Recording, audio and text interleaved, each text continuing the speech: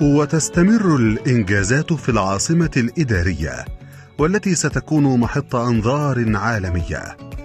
المدينة الرياضية بالعاصمة الإدارية الجديدة والتي تقع على مساحة 92.5 فدان. المدينة تعد واحدة من الإنجازات التي تشهدها الدولة المصرية في عهد الرئيس عبد الفتاح السيسي رئيس الجمهورية. وتضم ضمن منشآتها صالة مغطاة تتسع لنحو 7500 متفرج وتم تأسيسها عام 2020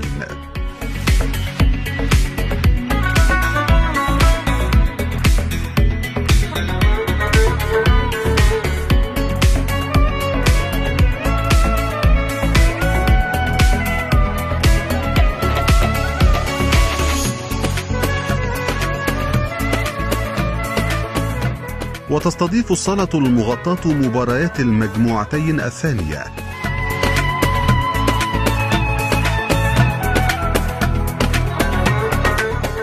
ويتنافس فيها منتخبات إسبانيا وتونس والبرازيل وبولندا. والمجموعة السادسة يتنافس فيها منتخبات البرتغال والجزائر وأيسلندا والمغرب. انتظرونا. في بطولة العالم لكرة اليد رجال رقم 27 خلال الفترة من الثالث عشر حتى الحادي والثلاثين من يناير الجاري. مع تجربة مصرية سيتحدث عنها العالم.